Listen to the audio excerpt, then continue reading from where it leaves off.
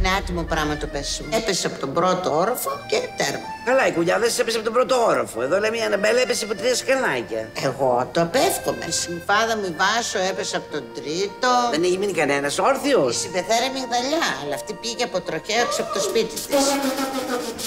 Συμπέθερη από τα τύρανα. Παρασκευή στις 9 το βράδυ.